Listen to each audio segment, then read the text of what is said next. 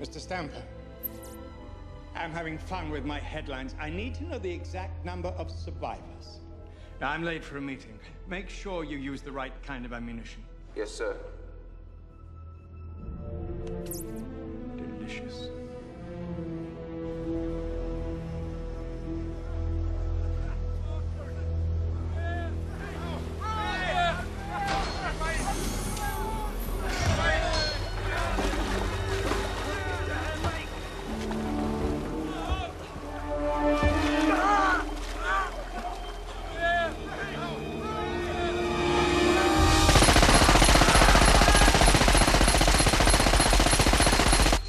Recovery operation.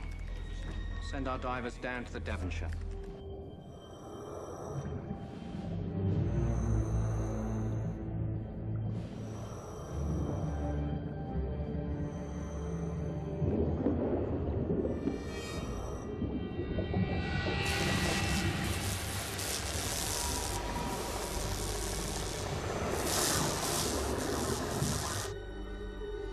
Mr. Gupta, phase one is complete.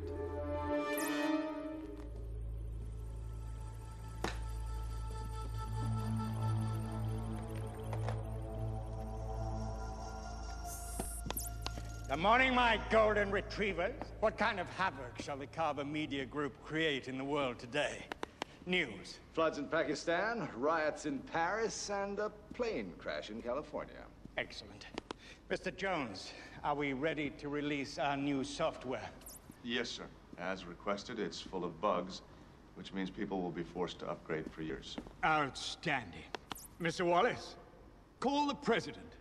Tell him if he doesn't sign the bill lowering the cable rates, we'll release the video of him with a cheerleader in the Chicago motel room. Inspired, sir. And after he signs the bill, release the tape anyway. Consider him slimed. Excuse me. He's on transponder 7. Mr. Stamper. Phase two is underway. I have the videotape. I haven't seen it myself, but I'm told the footage is excellent.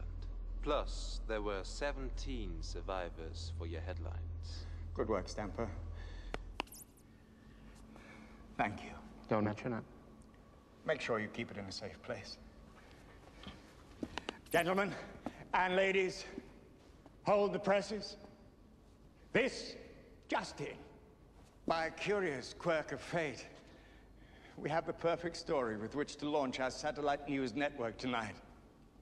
It seems a small crisis is brewing in the South China Seas.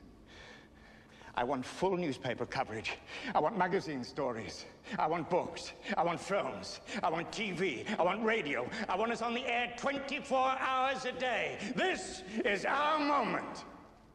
And a billion people around this planet will watch it, hear it, and read about it from the Carver Media Group. There's no news like bad news.